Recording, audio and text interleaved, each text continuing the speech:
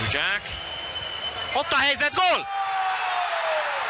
Megszerzi a vezetést a magyar válogatott az 54. percben. Német Krisztián pofozza be a labdát a hosszú oldalon.